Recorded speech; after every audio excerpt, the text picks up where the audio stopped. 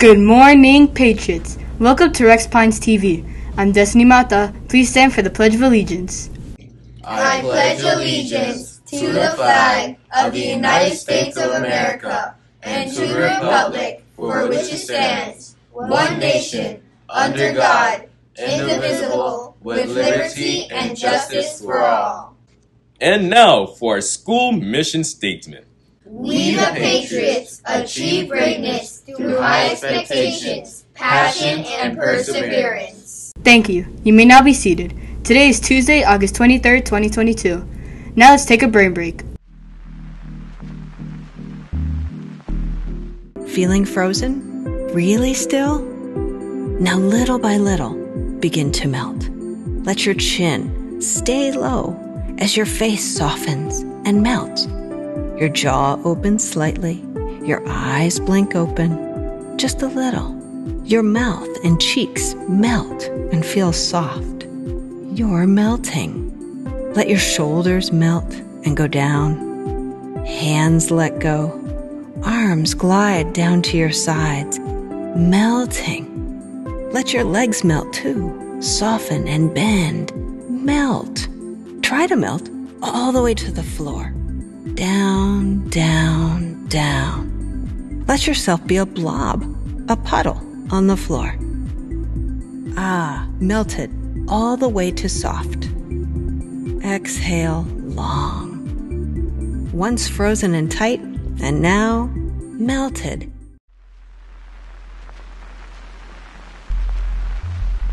It's always nice to take a moment to relax. Now let's see what happened today in history with Neil. Patriots. Today in history, the basketball legend Kobe Bryant was going to have his birthday. Kobe Bryant was born August 23, 1978.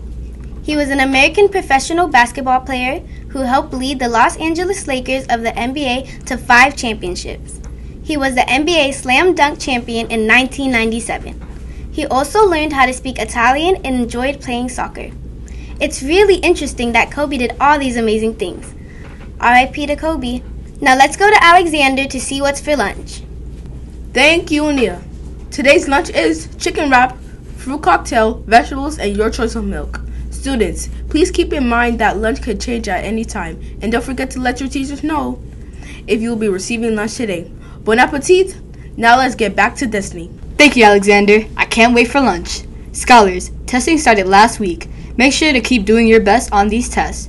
Teachers, take a look at the schedule to see when it's your time to test. Today, 3rd to 5th graders testing in NWEA reading. Good luck! Patriots, please don't forget our cell phone policies. Make sure you have your phone shut down and in your backpacks at all times.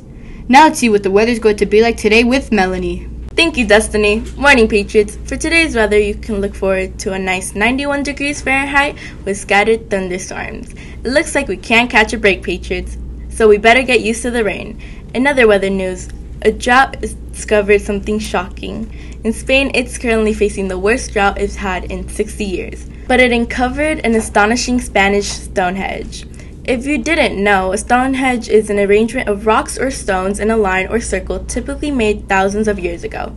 Scientists think this in particular have been around since 5000 BC. Even though droughts aren't good, this one did uncover something truly amazing. Well, let's see whose birthdays are today with Sophia. Thank you, Melanie. Today's birthday boys and girls are Yaneli Lisbeth Lemus, Jason Nicholas, Daniela Rodriguez. Happy birthday. Now let's go back to Destiny. Thanks, Sophia, and happy birthday. Patriots, here are your PATS expectations. It represents present yourself positively, act kindly towards others, treat the school's environment respectfully, and succeed at everything. And now for Monday's daily challenge winners. Congrats to Miss Stone and Miss Chang. You both had the correct answer to Monday's daily challenge, which was What question can you never say yes to? The answer is Are you asleep? Now for today's daily challenge. How many squares are in this figure? Teachers, please send your answers to pines.renaissance at gmail.com before 9 a.m. in order for your response to be reviewed. Winners will be announced on the next morning announcements. Everyone at RPTV would like to wish you all a terrific Tuesday. And remember, here at Pines, we are going to renew excellence in education. Have a great day.